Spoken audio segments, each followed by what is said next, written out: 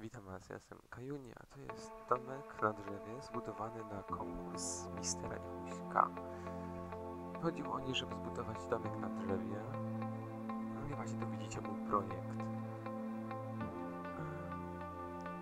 no, wszystkie linki i tak dalej znajdziecie w opisie, a więc czytajcie opis.